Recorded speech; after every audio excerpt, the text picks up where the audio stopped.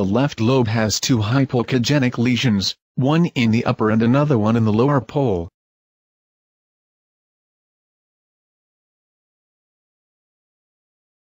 The upper nodule presents microcalcifications.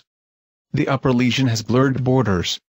Longitudinal scan reveals that both lesions have lobulated margins and the lower one displays taller than long shape.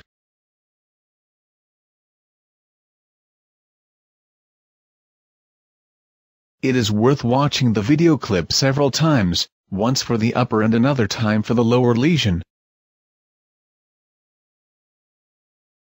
Finally, two U.S. guided aspirations are presented.